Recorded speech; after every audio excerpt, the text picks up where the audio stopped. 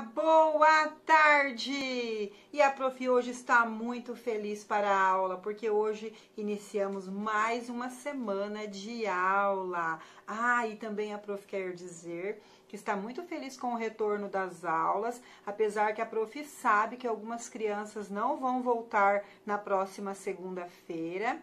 Mas a prof está muito feliz porque a prof está com muita saudade de vocês, com muita vontade de ver vocês, de ensinar vocês de pertinho. Mas nós vamos continuar aí, tá bom? Quem não conseguir ir para a aula, quem não puder por algum motivo, a prof vai continuar com vocês, tá bom, crianças?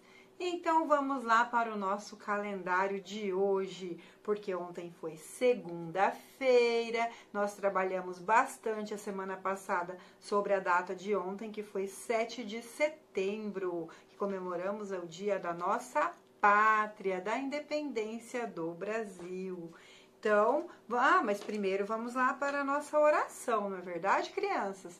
Então, hoje a oração é por conta da Prof. Kairi. Então, a Prof. quer, primeiramente, agradecer, agradecer por tudo, pelo que somos, pelo que temos, pelas graças recebidas, agradecer por vocês, por terem vocês comigo toda semana, agradecer pela minha profissão, agradecer pelo pão de cada dia. Obrigado, Jesus, por cada alegria na minha vida, pelos amigos.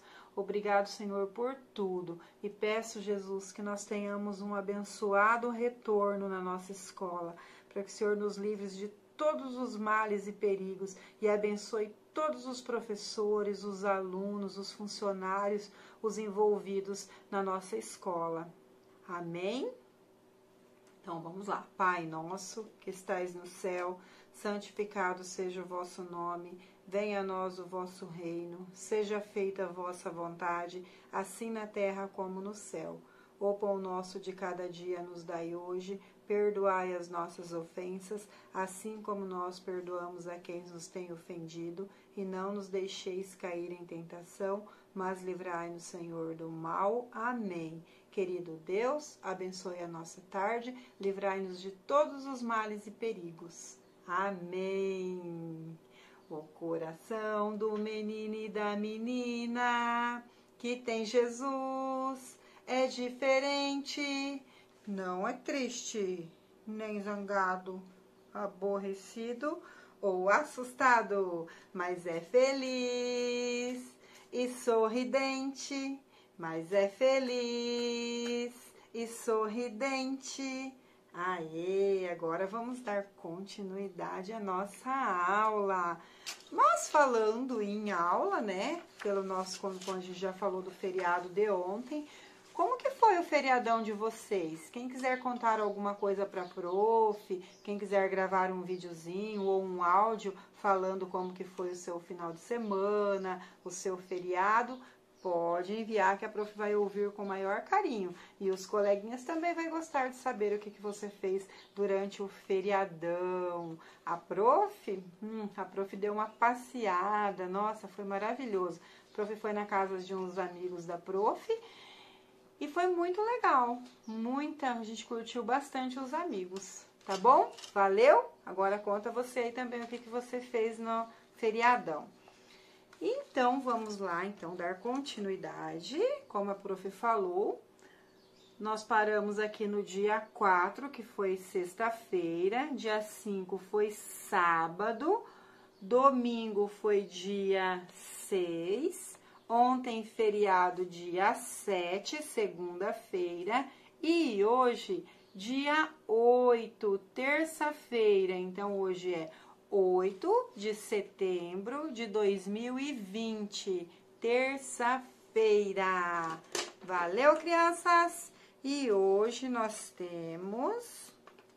Vamos. Ah, nós vamos falar essa semana sobre matemática, né? E nós vamos falar sobre ordem crescente e decrescente.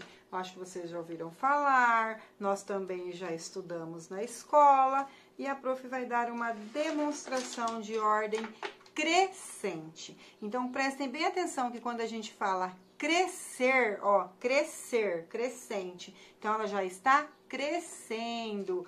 Então a prof tem aqui um para apresentar no material concreto com vocês. Eu tenho aqui um, dois, três, quatro, cinco, seis, sete, oito lápis de cor, tá? Oito lápis. Então a prof vai colocar na ordem crescente. Olha só, eles estão um grande, um pequeno, um menorzinho, um grandão de novo, um menor, um grande. Então a prof vai colocar na ordem crescente. Para colocar na ordem crescente, nós vamos começar do menor para o maior. Por exemplo, aqui a prof escreveu aqui no quadro da prof, ó, ordem crescente. Eu fiz dois para vocês verem. Podem ver que tá pequenininho aqui e ele vai crescendo, ok? E aqui a prof tem um lápis pequeno, que a gente vai começar do menor. Depois nós vamos pegar um outro, deixa a prof colocando aqui, ó. Ele vai crescendo. Depois a prof vai pegar, opa, eu acho que tem um menorzinho aqui, só um pouquinho. Deixa a prof fazendo, ó. Aqui dois, três, são quase do mesmo tamanho, mas o azul é um pouquinho maior, ó. Três, vamos pegar um maior agora. Quatro, olha como eles estão crescendo. Quatro, pega o outro, prof. Cinco, a vai pegar o verde que é um pouquinho maior, ó, pouca coisa, tá vendo? Um, dois, três, quatro, cinco. Agora eu vou pegar, deixa eu ver, esse azul aqui. Seis, olha, ele cresceu um pouquinho mais. Agora o amarelo. Sete. E mais um preto. A prof tinha mais lápis ali, mas eles eram quase do mesmo tamanho, então não ia dar para apresentar muito bem. Então, vocês pegam o lápis de cor de vocês do estojo e façam a ordem crescente dos lápis de vocês, tá bom? Então, vamos lá, vamos começar pelo menor. Menor, um pouquinho maior, maior, maior, e ele vai crescendo, ó, até ficar do menor para o maior, ok? Agora, a prof vai pegar aqui atividadezinha de ordem crescente, que é esta atividade em folha aqui, tá bom? Então, a prof vai ler aqui. Agora, vamos trabalhar a ordem crescente com desenhos e números.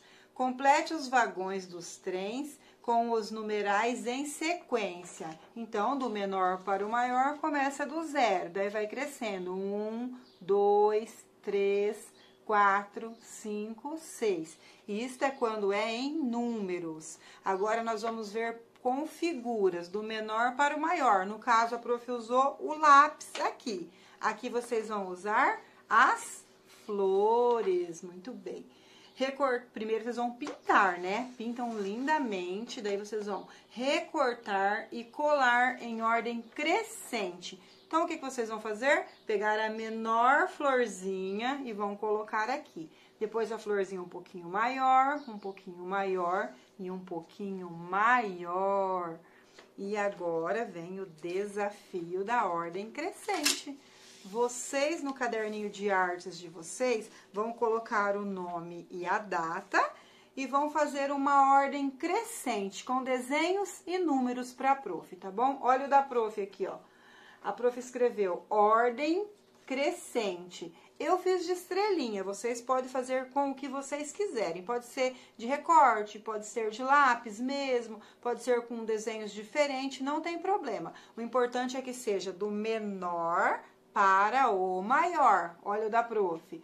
Comecei com uma estrelinha pequenininha, depois ela cresceu um pouquinho, depois mais um pouquinho, mais, mais, mais mais, mais, mais, mais. Então, a prof quer que vocês façam do 1, ó, ordem crescente. Começou com 1, 2, 3, 4, 5, 6, 7, 8, 9, 10 e de número também para ir crescendo. Tá bom, crianças? Então, ficou aí a atividade hoje de ordem crescente.